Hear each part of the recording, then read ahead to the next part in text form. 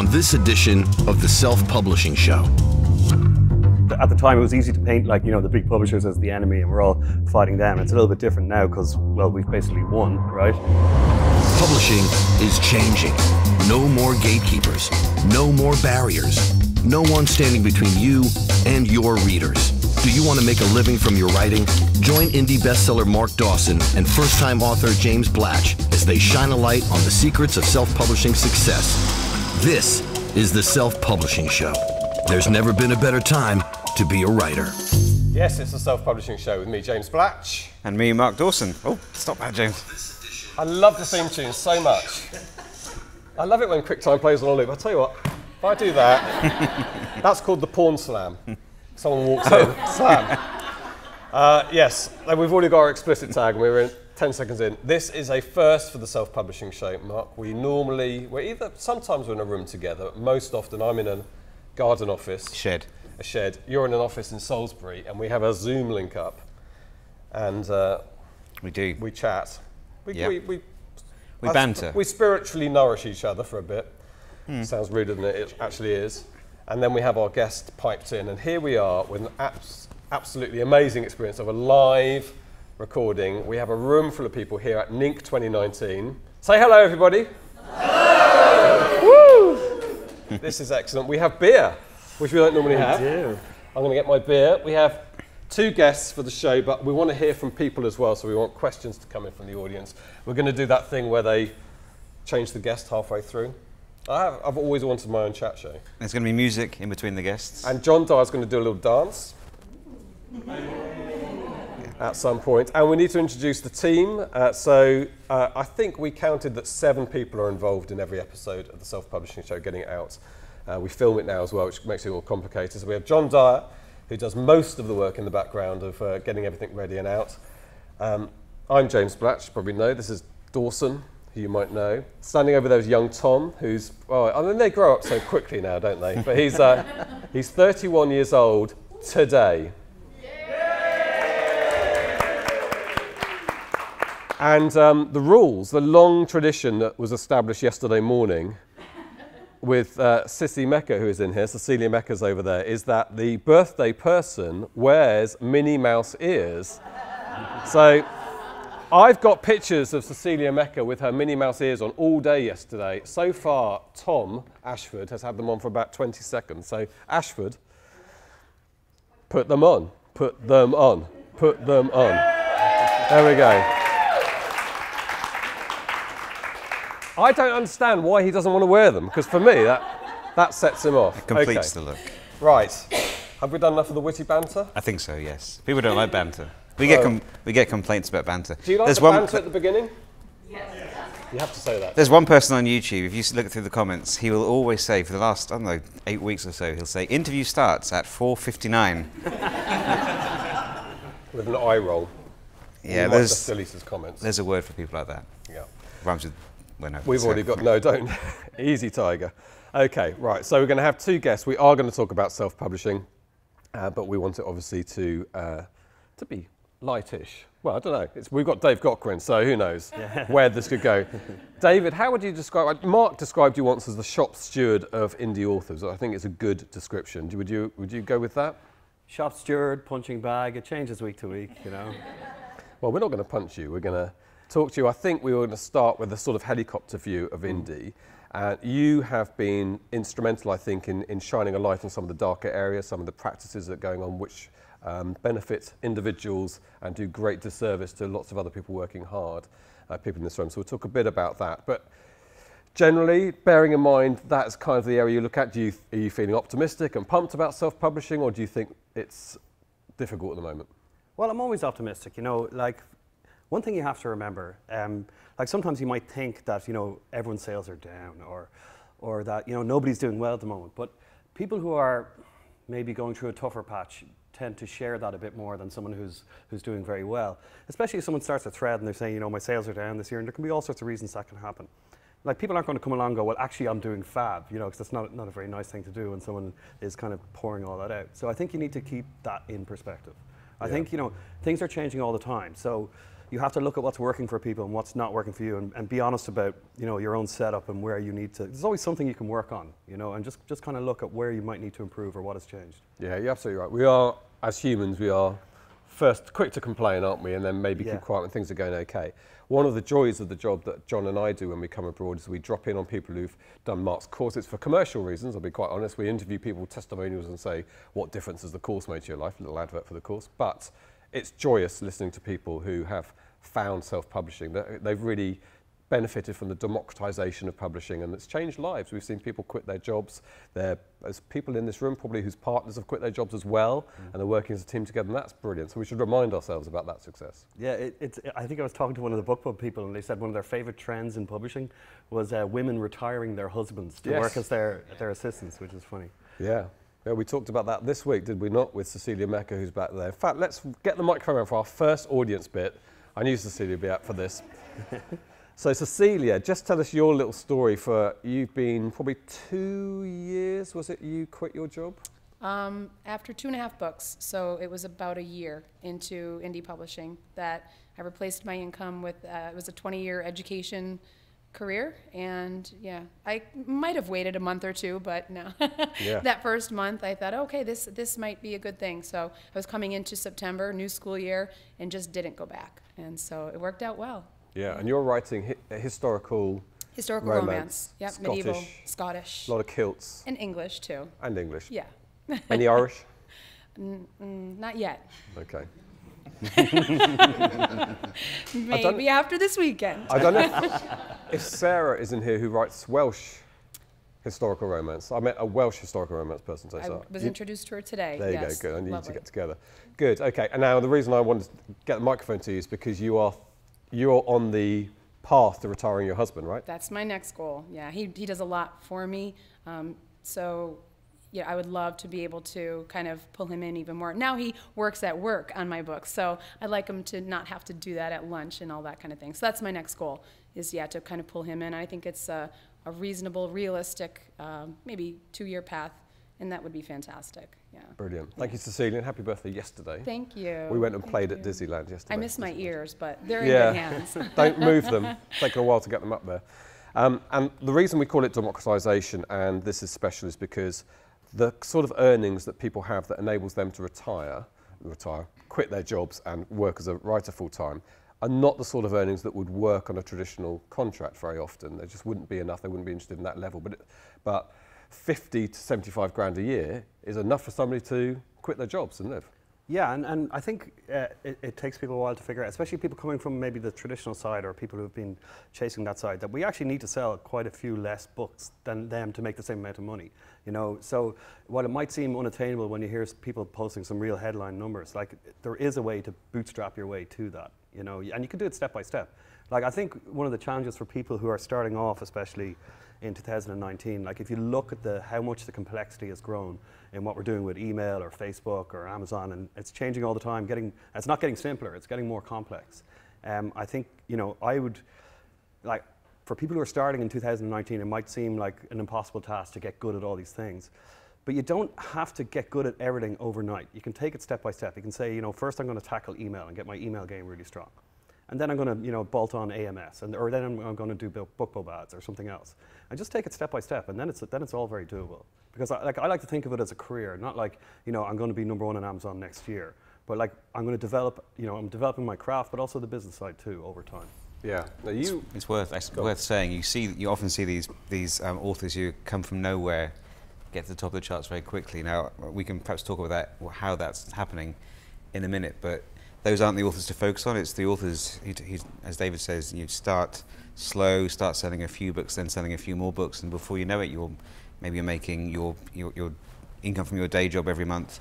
Then you double it, and then you then you can you know concentrate on full time, and, and that can take six or seven years. It took me, I don't know, five years before I was I felt comfortable enough to, to give up and write full time. And I think that's that's more of a that is a typical path.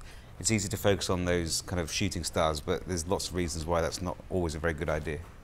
Yeah, and that's um, uh, also how risk averse an individual is. There's a different point at which you're comfortable making that big change. I've quit jobs and changed careers a couple of times in my life, and I do it easily because I'm reckless and pay no attention to the financial consequences. That's not what I heard. I've shifted careers for various reasons.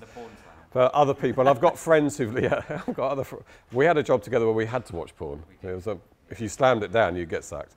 Um, that's another story. But yeah, for some people, I've got friends who look at what I've done and they just couldn't imagine them doing it, changing careers and risking stuff and taking pay cuts and building up again. But other people will be more risky. I mean, you're, I think you're relatively risk averse. I think you quit quite late. I'm quite cautious, yeah. Yeah, yeah. Um, so I was going to ask you about Let's Go Digital, which when what year was that published? 2011, I had sold 150 books at the time and decided that gave me enough experience to tell other people how to do it. Which, looking back now, was obviously the craziest thing ever. I'd been self publishing for six weeks or something, you know. I'd self published two short stories, I haven't even self published a novel yet. So it was, it was the craziest idea, but it, it, it somehow worked out. Yeah, and you've have you updated Let's Go Digital, or you? I know you published a second book. Yeah, no, I'm on the, I'm, I'm on the third edition now, actually. Um, I update it every few years. Yeah. Yeah. And there's one, if you haven't read it, it is probably the first book I read when I was learning. And it's still a book I'll go back to. Um, apart from having a great beard, he, he, he knows his ship. Yes. And that brings me on to another area I just want to talk about briefly is that before we talk, I do want to talk about some of the scamming and the stuff that you've, you've shone a light on. But uh, this is a community that helps each other, which I love about this community. It's one of the best things about it is that people want to share their, not just their success or their failures, but they want to share best practice and learn from each other. And so many people seem to be willing to help each other. That's something that doesn't exist in a lot of other communities or occupations. Yeah, and like that, that that's one thing that you know the scamming is kind of. Um, I wouldn't say it's ruined that, but it has introduced this negative element, this kind of element where people are more competing against each other, or you know have negative feelings towards each other.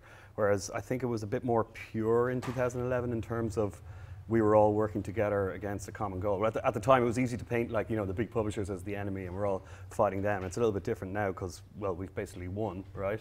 Um, but yeah, no, I think you know having problem, problematic actors in the community does kind of change the atmosphere a little, and it would be great if some of the people who have the power to solve the problem would actually care about it a bit more. Yeah. Let's talk about that a little bit. So, what are the the top sort of scamming techniques? We know book stuffing is is one, but there's other things going on at the moment, isn't there? Well, this, per- this- perhaps shouldn't mention names just in case. Yeah, yeah. Um, this, this is the thing, right? Um, everyone always focuses on the book stuffing because, you know, when myself and, and Phoenix Sullivan and a bunch of other authors, like I'm, I'm far from the only one, were blogging about this issue and trying to raise awareness about it. Um, book stuffing was the easy thing to point to because anybody could click on look inside an Amazon and see that a book has 10 more books stuffed in it when it really shouldn't. Um, book stuffing was just one of the many things that these guys were engaged in. Um, and it was all about manipulation. So they'd been manipulating sales, they'd been manipulating rank, manipulating reviews, all to create the appearance of a bestseller. So they, some of them would be using click farms or bots to push a book to the top of the, top of the charts. They'd be purchasing, purchasing reviews. Um, they'd be incentivizing reviews with various prizes and things that you're not supposed to do. Um, any, any way they could game the system and gain an advantage, they were doing it. And, and so when Amazon kind of more or less stopped book stuffing a year ago, people thought that was the, prob- the problem was solved, but they just, they just pivot to something else. Okay. And do you feel that you're fighting a losing battle here, or is there progress being made? I mean, to be fair to Amazon, this is this is not something they want to be happening, but they are struggling perhaps with the te- you know the, you create a beast that's that big, and there's fires being lit all over the place. Yeah. Are they doing enough? Are they putting them out quickly enough? No, they're not doing enough. Um, I think Amazon, I think Amazon doesn't want to police the Kindle store, which I can understand. There's eight million pieces of content in there. There's I don't know how many publishers and, and authors putting content there, a million, half a million. Uh, there's a lot, and I don't think anyone could reasonably expect them to police all of that. But can they not look at the 25 people they're giving all-star bonuses to every month?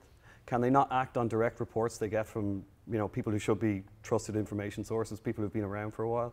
Like, in fairness to Amazon, they have taken out some pretty big people who are doing some pretty bad things. Um, but they had that information for two years before they did anything because I gave it to them, so I know they had it. And so why didn't they act on it?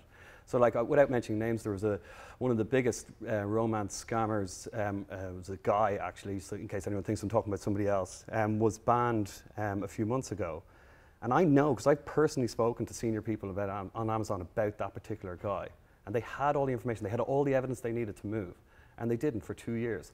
So, like, just doing some back of the envelope numbers, like they, they probably paid out millions of dollars from the KU fund, which is our money, you know, Hmm. they, and they, they paid that guy knowing that he was scamming.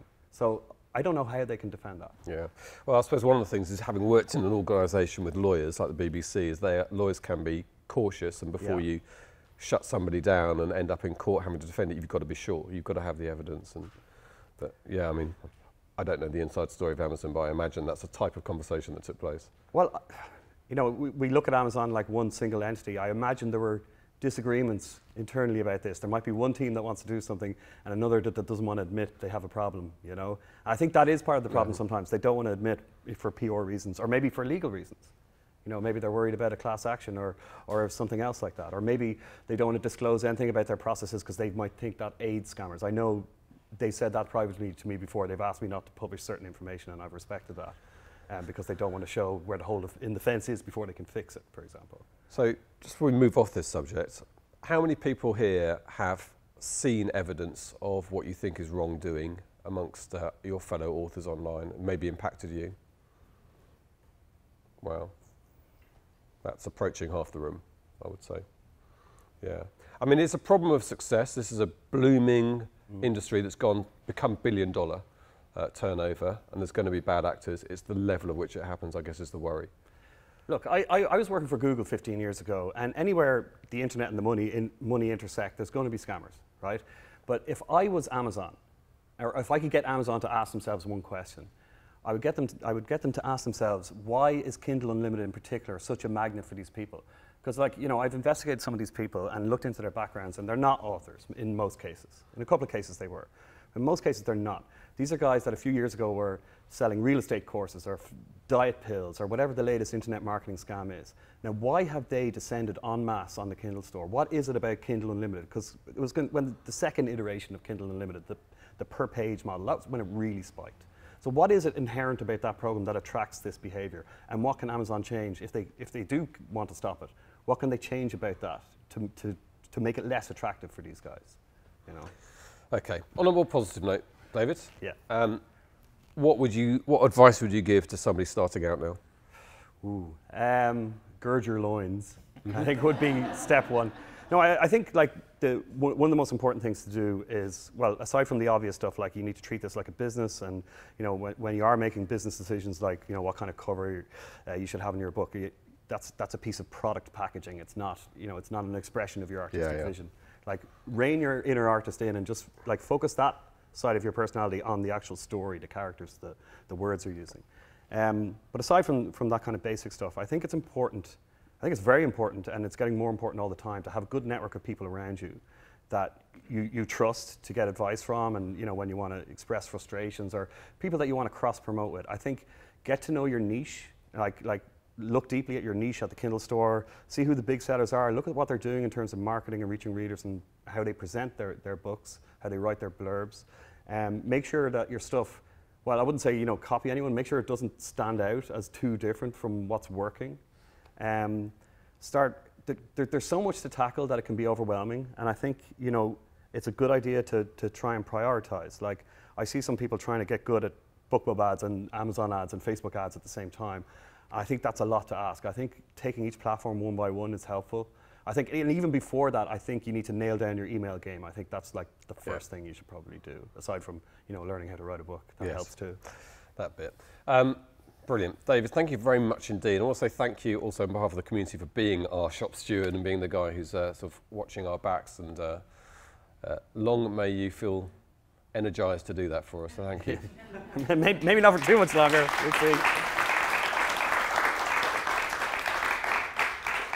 It's a special gift for coming on to the very first uh, live SPF show. I have this, but It's a- it looks it's like a- a, looks like a proposal. Will you? Wear my pin. Well, thank you very much. Um, I've got two of these to come here. So there is going to be, I promised Ellie, where is she? Elle here?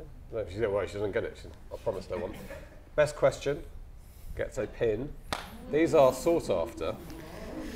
I mean, they're valued at maybe one or two 50 pence. do you think? Yeah. uh, they're great. Now, David, if you would uh, very um, sweetly uh, and smoothly swap places with Ricardo and swap microphones with him, that would be great. We're now going to riff and make uh, comedic comments. Oh, I've got something for you actually. we don't normally feature individual books. This is a great, new, fantastic new book by Margaret Lashley. It's her first um, uh, psychological thriller. So she's a mystery, cozy mystery author. Margaret, is she in the room? She's in the room. She's uh, brilliant from the south. Uh, we love it. I don't know if you just want to have a look at the dedication of the uh, to the characters. Blatch and Smalls. Blatch and Smalls are the two characters in this first Margaret Lashley psychological thriller. Blatch is obviously inspired by someone she knows who she finds very inspirational, whose mother is called Dolores Blatch, I've just learnt on page 114. Smalls, now, if you're English, who's English in here? Is it just us? We're the only Brits. Wow, you drove us all out in 1776. We're the only ones to come back. Um, okay, so uh, smalls is what we refer to the smallest part of your laundry. So we'd been here 10 days at this point last year, and John Dyer said to Margaret Lashley, I've got to go and get my smalls washed, and she found this the most hilarious thing she'd ever heard in her life. So she refers to him as Smalls ever since, and she's written a book where the detective is Blatch. She's the only person to ever refer to me as Smalls. She is the only person. Uh, Just Bar- make that clear. Barney Smalls is the police sergeant, I think, in this, and uh, I'm Blatch. So that's brilliant. We are absolutely thrilled she's done that. And if anybody else would like to include us as characters in their books, uh, we're cheap and we will give you prizes in, in, a, in response. We have a new guest. It's Spanish Jesus. It's Spanish Jesus, which some people might find offensive. well, that boat has sailed. But uh, Yeah, yeah, that ship has sailed. And um, Spanish Jesus does bless me. You did, in the bar last night about one o'clock in the morning, you did lay hands on me. Did I? Yes. In what, in what way? In a kind of uplifting way, I hope. Oh, okay, But, yeah. uh, yeah, I Yeah, felt that's what I uplifted anyway. Uh, Ricardo Fayet, welcome to uh, my new chat show. Well, Our- thanks our for having show. me on, uh, on this couch. Yeah. So Ricardo, Reedsy, you better tell people, not everybody necessarily knows Reedsy.com. You better tell us all about it. All right. Uh, well, if you really don't know about it, um, it's basically a marketplace where authors and publishers connect with editors, proofreaders, cover designers, illustrators, marketers, ghostwriters, also website designers, typesetters. I think, yeah, that's about it for now. Maybe translators in the future, we'll see.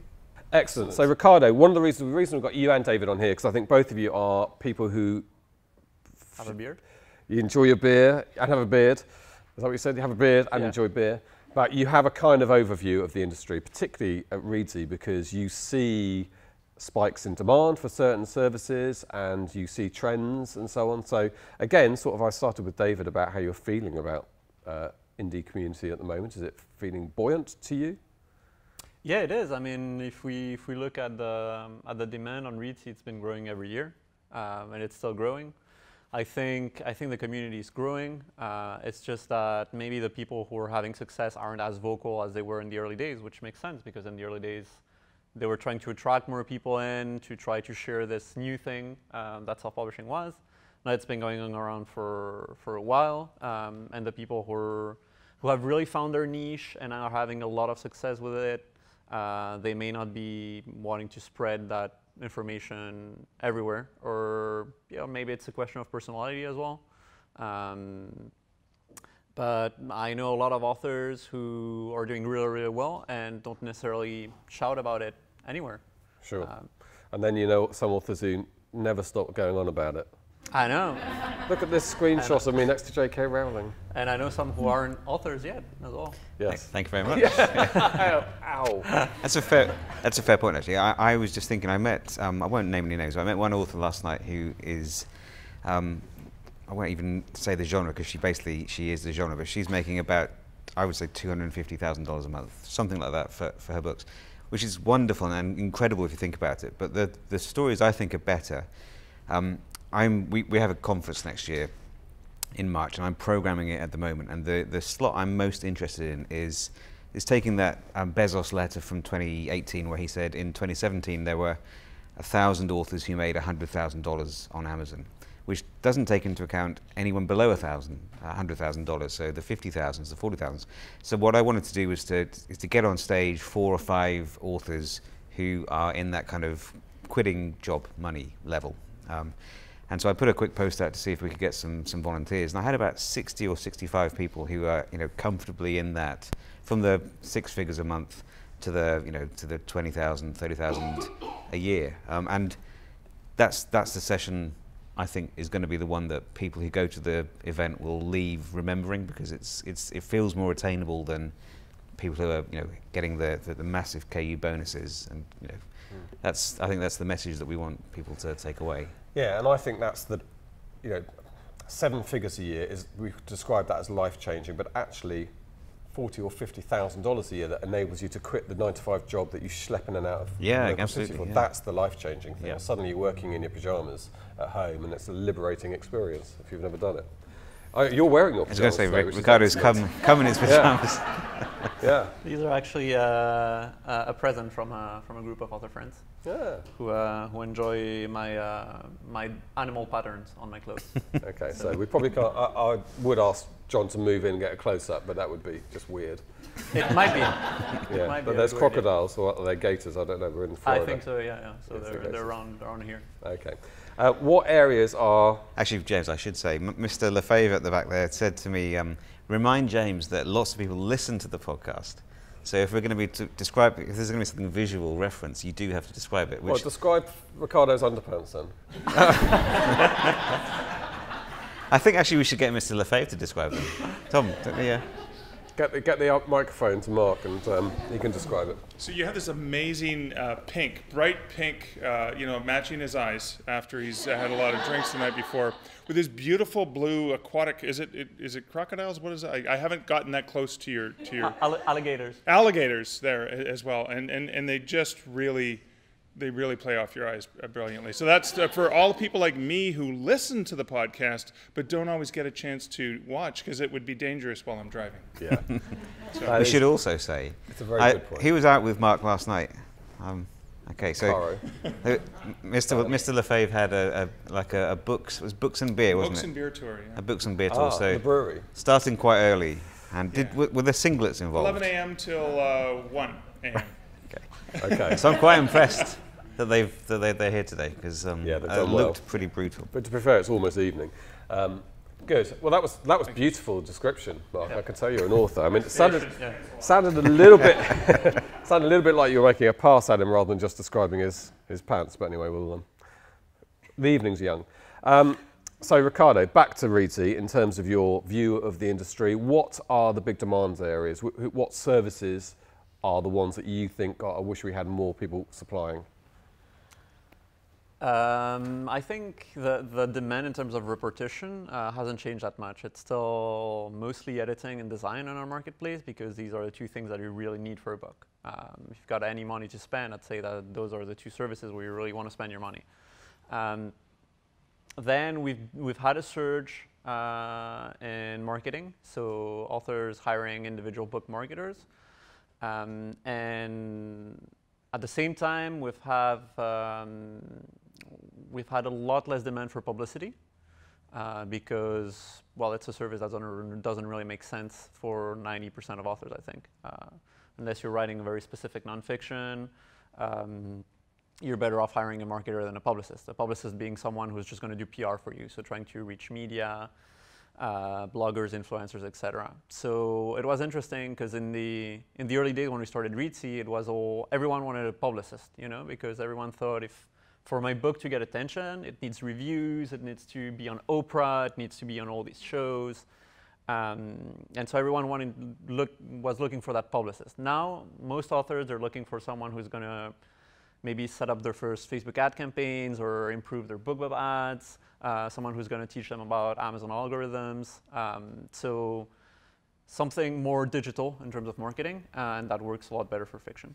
Yeah, and I think we see that as well, don't we? We teach people how to do this stuff, but we get probably an email at least once a week from somebody saying, "How much money can I give you to do it for me?" And we just we don't have the, the time to do it. But there's a growth, there's a, a spin-off industry hmm. on the side of indie. Don't hesitate to send them to, to Reedsy. Yes, we'll send them to Reedsy.com. I'm sure we've got an affiliate link. Probably have. Yeah. Yeah. Good. Okay, look, I promised this to be interaction, interactive. We've got David there who's spoken. We've got Ricardo here. If you've got questions for either of them, or Mark, or me, or Smalls, or Mickey, Minnie over there, would anybody like to ask any questions? Don't be shy. Let's turn it around a little bit and say, um, I'm going to ask you a question. no, not asking me a question. Just think. Um, so, I was here at NINC last year and the year before. I'm just curious as to how people think. How, how have you seen things changing over the last 12 months?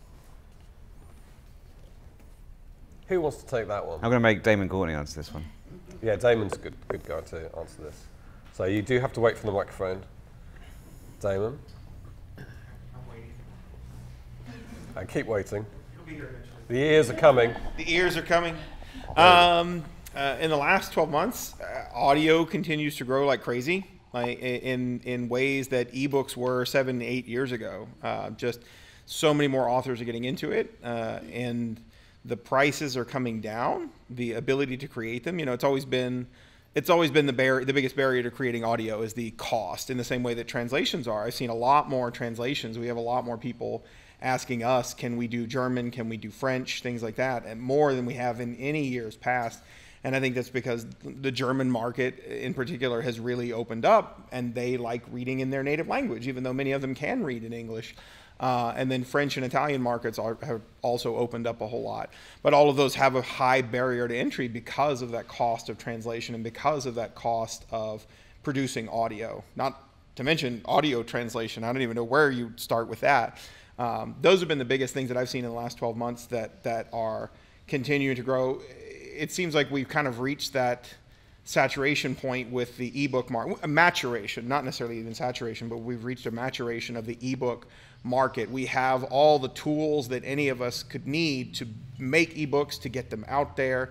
You have services, marketers, you can find people who do your ads for you. You can learn from Mark how to do your own ads. Like, there's a ton of a wealth of information about all how to do all of that stuff. So there's a big maturation in that market and all the tools that we need to produce that stuff. Now it's sort of so I think we've kind of I mean there's still plenty of ways to go. There's there's so many readers. Print is still the largest amount of sales across the entire world. So there's still a huge mountain left to climb. But I see a lot more indies looking to the next horizon as we sort of plateau in ebooks. Where is where is the next piece where those monies are going to be coming from? Yep. I think German is, is a good point. I mean, I, that's I'm focusing heavily on translation at the moment. So I've got three books in my Beatrix series that were translated uh, early this year, end of last year, and, and those are bringing in a couple of hundred euros a day now. Just just three books, and that's not hitting the kind of the KU All Star level with those books. So I, I know you know is looking at around 400,000 pages isn't enough to get that get the first tier of those um, that level. Um, and so I'm, I'm doubling down now. I'm, I'm going into the Milton series and that. But the, the, the big thing is, as you say, it's, it's the cost of getting it done. It's looking at. We'll do a podcast on this at some point, but I've learned so much about you know you, you pay someone to translate something, and that becomes a new literary work, which then needs to be edited. And I'm like, oh, well, I can't edit it. I don't speak a word of German. So um, so you're looking at about six to seven thousand euros per book to, to get that in. So that, that is that is an investment, a fairly heavy one. Um, but on the other hand, it's a it's a fresh market that is looking for content. Um, and, and to answer the question about audio, Audible is is buying up content um, to get onto the uh, German Audible store. So you could license your translation, sell those rights um, directly to Audible, which is, is one of the th- things I'm trying to do. So yeah, it's fun. Let me, I'm going to pick someone else. Dave Chesson. Hang on, let me just try something. Sprechen Sie Oh. Deutsch? Ja, Um, ich spreche Deutsch. He speaks. He, Ricardo how many? Seven languages? Is it? No, five, five. Five. Five, that's Only amazing. five. Let's not Ricardo, get carried away. Can, can I ask? I'm sorry to put you on the spot Yeah. there, Dave. Can how you how do you see the what have you seen over the last 12 months? How are things changing from? Dave Dave has um, Kindlepreneur.com, so uh, in a great place to. Uh, I would say that I'm seeing a lot more publishing companies take self publishers a lot more seriously. I think that uh, a lot of the tactics that they used to kind of shy away from or think that that was kind of beneath them, I see them getting more involved. And I see them also reaching out to more self publishers and bringing them in. And you were just talking about the international rights. I've seen a lot of international publishing companies also start to look at US success and self publishers and reach out to them more often to offer, say, buying out the rights in that area. Stephen Guise of Mini Habits just sold his rights to a Japanese publishing company, and that company took his book to being the number two best selling book in all of Japan, something he never would have done. And again, I think they're seeing this success and saying, you know, if it's working in the US, that can work in our country. We can apply our knowledge and understanding of our culture and be able to take it to the next level.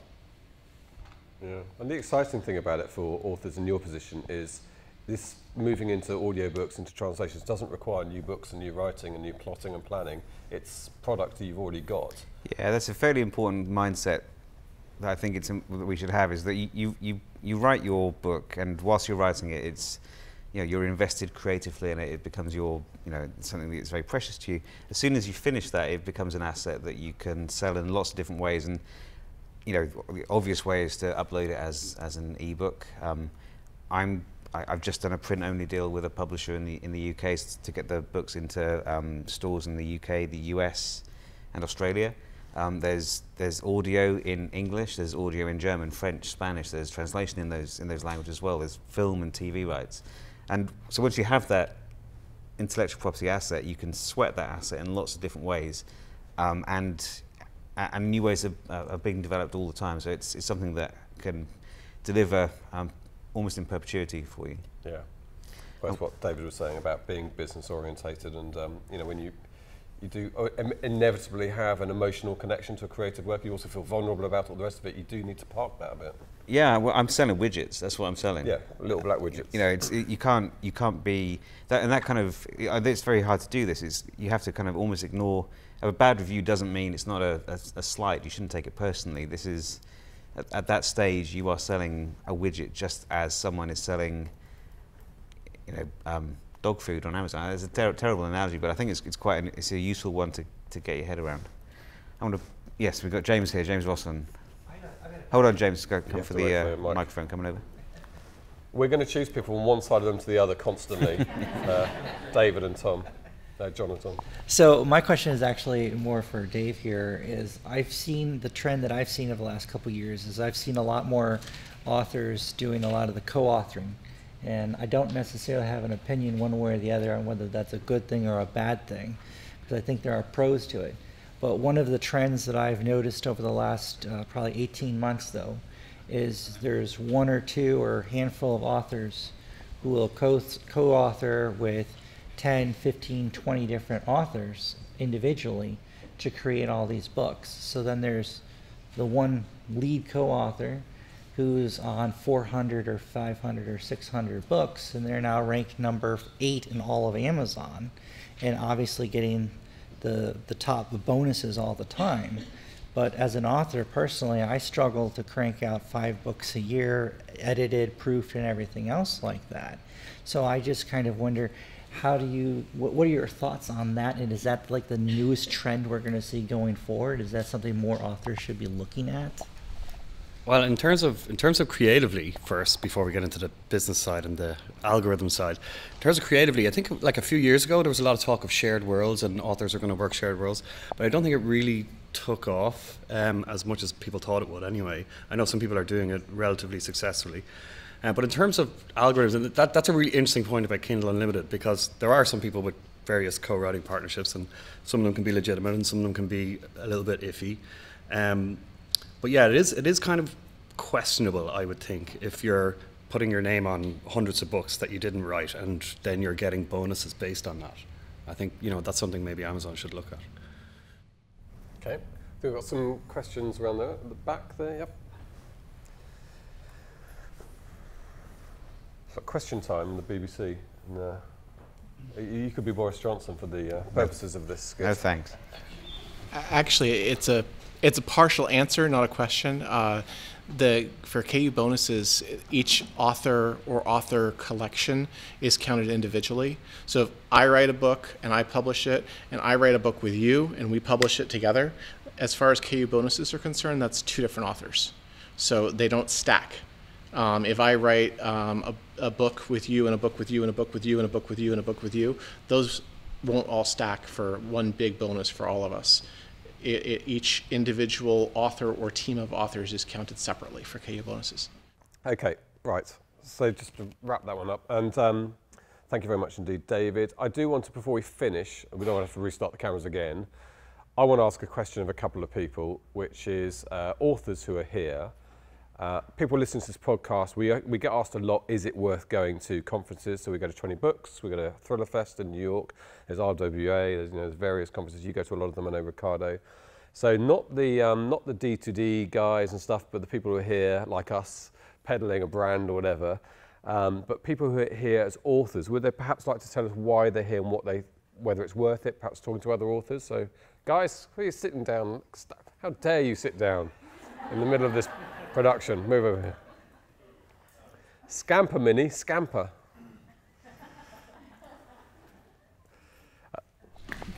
So I'm Deborah Holland, and I think NINC is a fantastic conference.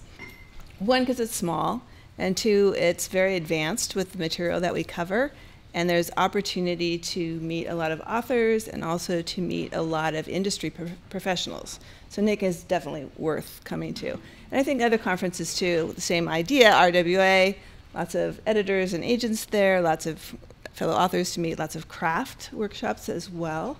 So I think the thing about conferences is it helps you be able to learn and to grow and to find people that will help network with you and it's just those are the wonderful experiences and authors you know we have a pretty lonely life in terms of we're by ourselves and yes we might have a big online presence with people but it, there's something about meeting people individually and that energy that comes from making connections and that like as you said, that ability that we have, that we are helping each other and we are empowering each other.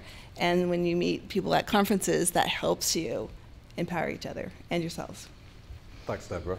It's great. Cara, I'm going to ask you because I know you go to quite a few conferences, and you feel a benefit from it for your feeds into your writing or your marketing, which most definitely. I am not a full time author. I'm still fairly early in my career. And yes, what, exactly what she said the connections but I like the social things in between the events, like in between the talks. And you have a conversation that's about nothing, and every now and then you get a little tidbit. And that's the little tidbit that gets you unstuck. That's the thing you were struggling and you did not even know you needed to ask the question. But when you hang out with people, you get to discover that nugget, and it's wonderful, very useful. Superb. Are you trying to say something? Yeah, no, I was going to say I've learned more things at the at the Tiki Bar at NINC than during the sessions. so if you could and, just and related to writing and publishing as well. Yes, we've learned lots of things at the Tiki Bar. We've learned quite a lot about you. Can you just just check the cameras as we wind up? Look, are we going to have to wind? We are going to wind this up. That's still recording. A couple of minutes. Excellent. Two minutes. Good. Marcus. James. This has been amazing. Yeah, we should do it again. Yeah, it's fun. It's um, I, I, just I love this conference. This is the one of the first the first one in the US I was invited to four years ago now, and I really enjoy it. It's it's it is it's it's I don't think it's small, but it's a mixture between somewhere between. It's kind of a medium level conference for four five hundred authors, but as Deborah says, um, you know, a fairly you know, good level. Um, it's not basic. Um, and this weather is amazing. I love it. Yeah. Um, it's raining back home, so I'm getting messages from my wife about how, awful back home. how how wet it is. So it's yeah. So who's going to the Tiki Bar tonight? We're, we'll probably be buying. So uh, And uh, yeah, SPF drinks tomorrow night at the Sharktooth Tavern. Yeah. Yeah, and I'll, I'll add to that as well because we did a our first pre- on my first presentation was last year with Cecelia. We did a presentation. The cops are coming for you, Ricardo. Um, Again. we did a presentation on uh, lives, and it was interesting for me for the first time to do a presentation. It properly clicked with me that people come here to, to learn instructional detail. So we did a bit of general stuff about whether you should do them, all the rest of it. When we started getting into the detail about doing it, everyone was note taking coming up to us afterwards. And this is a place people make copious notes and go away with practical takeaways. And I think that's, this conference is a, just a little bit step up from the others in terms of that, um, which I think is great. So yeah, it's a membership kind of thing as well, which feeds into that. So. Right. Well, we've I've thoroughly enjoyed this. I think I'm going to send this tape into uh, ITV or CBS and try and get my late night show.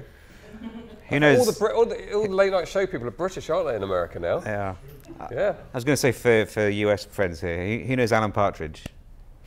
And it, oh, no, no, one knows Alan Partridge well. Were- This is basically Alan Partridge, and David knows Alan Partridge, and you know, there are, and you, I imagine. No, you're too young. God, he's old and English. He's a comedy. he's, he's a hapless comedy character. I like a man who knows who he is. I'm Alan Partridge. Carry And I have been compared to him before. Aha. Okay, yeah, that's it. So we are going to say thank you very much indeed for listening and watching this week, listening and watching. And thank you so much indeed for coming along and being a part of the show. It's been brilliant. So give yourselves a round of applause.